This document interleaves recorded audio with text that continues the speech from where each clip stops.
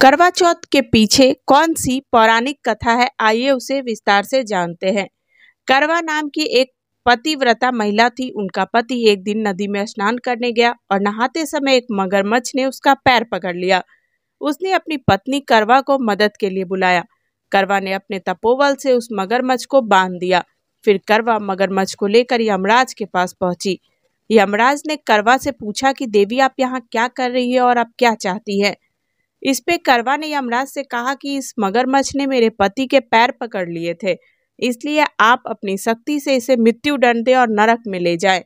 यमराज ने कहा कि अभी इसकी मृत्यु की आयु बची हुई है, इसीलिए मैं इसे मृत्युदंड नहीं दे सकता। यमराज की बात पर करवा ने कहा कि अगर आप मगर को मारकर मेरे पति की चिरायु होने का वरदान नहीं देंगे तो मैं अपने तपोवल से आपको ही नष्ट कर दूँगी।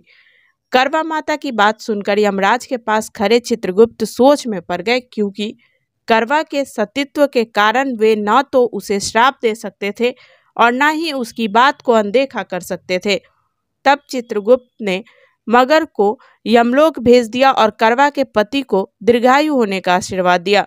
चित्रगुप्त ने कहा कि जिस तरह से तुम अपने तपोबल से अपने पति के प्राणों की रक्षा की है, उससे मैं प्रसन्न हूँ। मैं वरदान देता हूँ कि आज के दिन जो महिला पूर्ण श्रद्धा के साथ तुम्हारा व्रत करेंगी, उसके सौभाग्य की रक्षा मैं स्वयं करूँगा।